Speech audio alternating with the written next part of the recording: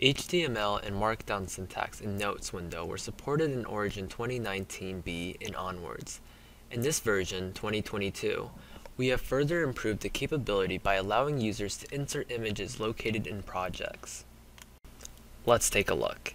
Here, I have a graph, and I have already set up two reports. One is based on Markdown syntax, and the other is based on HTML syntax. I wish to insert the graph and an associated image into this report. Let's first bring the image in, which is as simple as locating the image and then dragging and dropping onto Origin.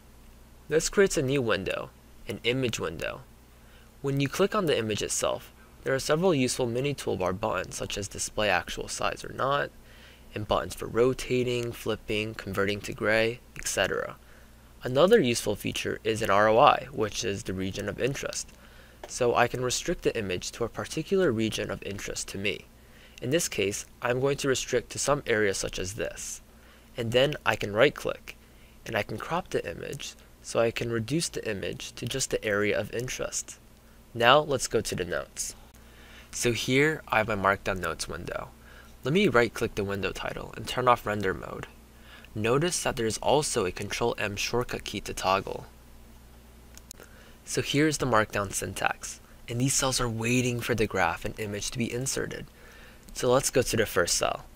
Go to the HTML menu, add links, add graph slash image, and select graph.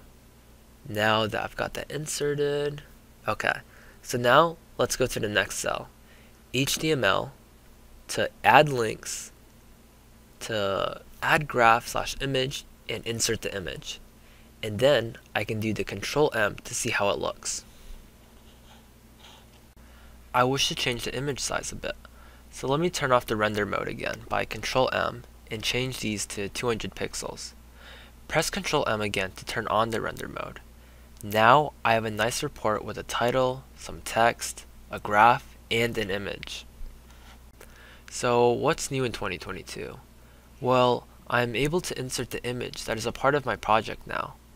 Okay, so let's look at the same example in the HTML notes window. So I am again pressing Ctrl M to turn off the render mode. Here's the HTML syntax for the table. So I go in here and insert using the same menu. But based on the context of my notes, the appropriate syntax will be inserted.